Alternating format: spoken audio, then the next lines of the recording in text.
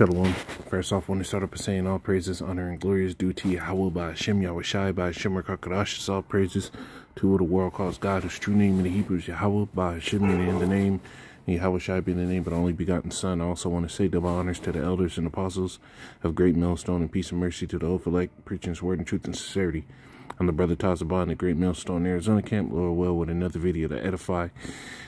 And uh, I was watching uh, the elder. Uh, um, I'm along a in New York. He made a video.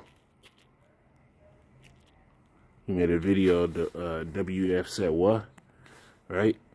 And uh, I had to before I even really got into that video, I had to make a a follow up based on the article, right? So the WF says CBDCs must be implanted under the skin if you want to be part to participate in society, right? This is this is just a step closer and a sign that we're we're coming to that days, right? I was watching a uh, Glenn Beck also today, and uh, I'll I'll get this real quick. Circumstance. So there could be some positives that come out of this. Right. Is going to happen. That much of a technological revolution now. And we were living in cities with refrigerators all all of spooky because. So, Pete, what he says is this: he understands that the times are racing, that the times are speeding up, right? But he doesn't really apply the scriptures and prophecy to it, but we do, right? Spooky to see the things that I thought would happen back in the 1990s, and they're all happening right now. And it's spooky because unless we wake up to them, uh, you won't be able to stop it. Um, you know, I've been saying for years, for years, all of the changes made from when we had fire to the moment we had electricity and we were living in cities with refrigerators, all of that will happen in a 10 year period. Well, I was wrong.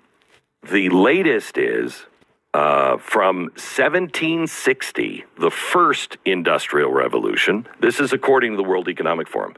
The first World Economic, or the first uh, uh, transformation, the revolution, started in 1760. Then we went through the second one and the third one, and we're now at the fourth. So everything that happened between 1760 and 2020 is going to happen. That much of a technological revolution is going to happen between 2020 and 2035. See? And what he doesn't know is it's going to speed up even more than that. Because the Lord said, what? So, uh, uh, no flesh will be saved. Or let the Lord shorten the times. Right? So things are going to speed up. Things are going to speed up, man. They're going to come out with this. There's more talk about this. Why? Because prophecies are coming to pass and the Lord's really getting ready to seal this shit up. Right? If we tie to this place, what do you think the Lord is? Right? So, you know, this is prophecy time. This is prophecy time. And then, right, you had uh, Nate.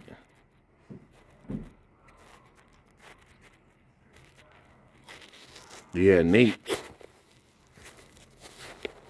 Give his breakdown on this. Give me Revelation 13. Here's a great controversy. Revelation 13, verse 12. Verse 16. Watch this. Revelation chapter 13 and verse 16. And he calls it all, both small and great, rich and poor, free and bond, to receive a mark in their right hand or in their forehead. Y'all see that? Now you want I, I've been telling y'all it's talking about sin for a long time, whether political or religious. Now we just read what the we just read what it is. Go back to Revelation 17 and read together. What's in the hand of America? What you want? Her forehead, read. And the, and the woman was a. And, and, and Nate is so deceptive that you hear this dude and he sensationalizes the mark, which is the implantable chip, and just ties it in with sin. It's a sin if you get it, yeah. But he plays on people's simplicity and acts like what we say is off. But more and more information is coming out to uphold the breakdown that we've learned from our elders and apostles. In purple and scarlet color, and capped with gold, and precious stones and pearls, having a golden cup in her hand, in her hand, full of abominations. No, a microchip. full of abominations, full of abominations and filthiness, and filthiness. of her fornication. So that's in her hand. Mm. Now let's see what's in her forehead. And upon her forehead Okay, her forehead, her mind. was a name written. What is it? Mystery. Babylon. See, a, a completely off breakdown. Now we're seeing now with the more information that's coming out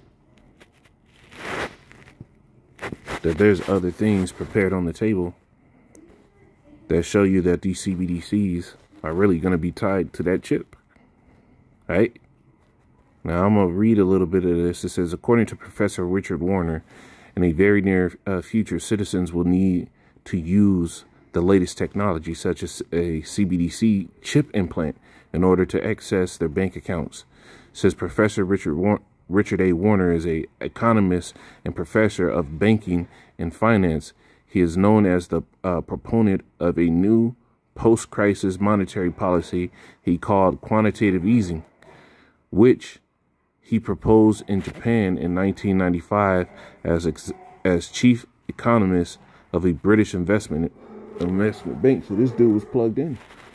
This dude was plugged in. Now I'm gonna jump down in this article because it says.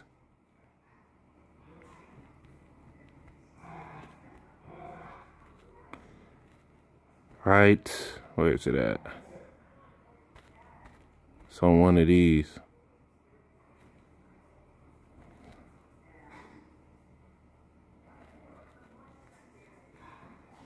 Get the arrows. So I'll start about. I'll start up here and I'll jump down. It says so. It says um. Where is it at? Right here. It says a conditional currency, a conditional currency based on actual getting, based on you actually getting that permit. Now, if you have happened to be some kind of critic of government policy or critic of central bank or of central banks, this could be difficult. Or if you dare to step out of the, out of the 15 minute city zone, you know maybe you'll find out find that oh my CBDC is not working. Of course, these are, of course these are the things we we've seen already in China. There's plenty of videos where somebody tries to use their use it to buy a ticket and it doesn't work because his social credit score is low. Right?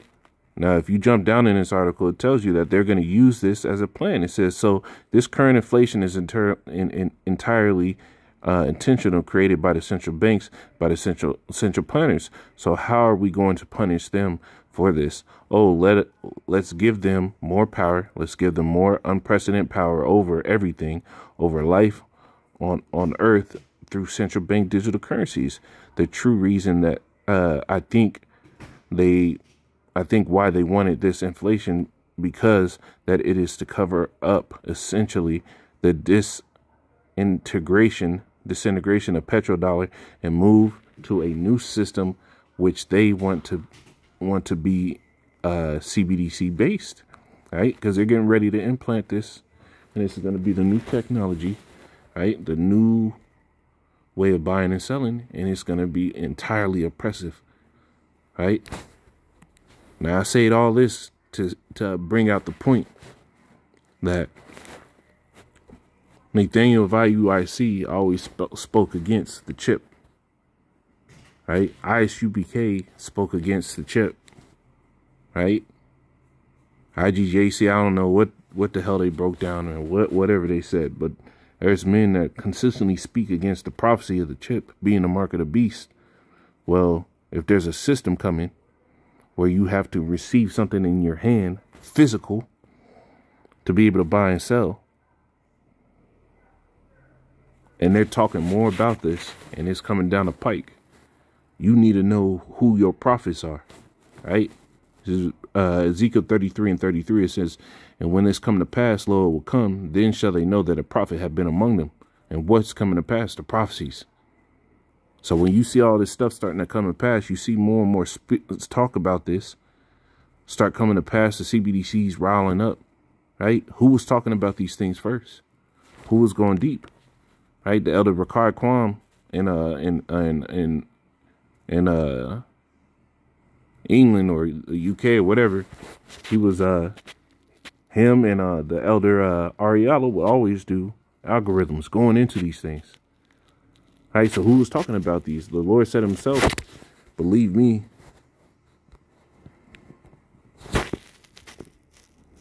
Right, this is John 14 and 11. It says, believe me that I am in the Father and the Father in me, or else believe me for the very work's sake. So for the very work's sake, we're supposed to believe the, the, the, the Son, right? Well, what do you think you're supposed to believe in his men? You're supposed to believe them for the very work's sake because there's a track record within Great Millstone of breaking down these prophecies and things actually coming to pass that that were spoken about from the elders and apostles, right? That were prophesied from the elders and apostles that are happening now. Everything that the elders and apostles were talking about have started happening already, man. Right? So you need to know who your prophets are. The scriptures tell you you're going to have to discern.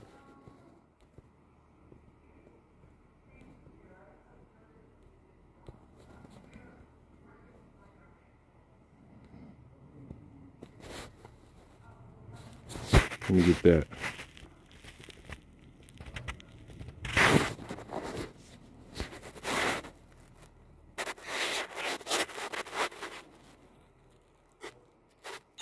Yep, here it is. Malachi 3 and 18 it says, says, Then shall, shall ye return and discern between the righteous and the wicked, between him that serveth the Most High and him that serveth them not. And how will you do that? You come, hey, listen to the man's words. Is what that man saying coming to pass? Right? The scriptures tell you the prophet that prophesied peace when it come to pass. Then shall you know he's a prophet. Well, IUIC was talking forever about building your own here in a Babylon the Great, building your own in Babylon the Great, man. Right here it is in this video, right here. This dollar system, and as soon as America got the world to accept the dollar system, they didn't even try to hold up to the, their point of having the, the amount of gold. So America can't be trusted anyway. We already know they're, they're deceitful when it comes to power and control, and that's what we're witnessing right now. How they're doing to the American people, and they're definitely going to target the Israelites. That's right. Uh-oh. Hold on, really quick. On, give me um, on the Second Corinthians on the six and seventeen. All right, because we got to come out of this um, on the system. All right, we got to on to start to build our own. All right, gather together. All right. There's no building your own here. The scriptures tell you neither neither have children here.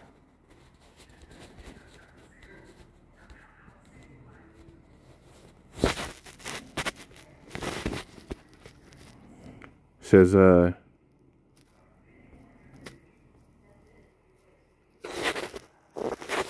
Let me get this in this place.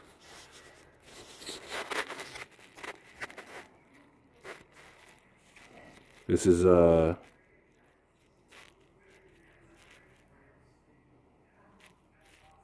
where is it at?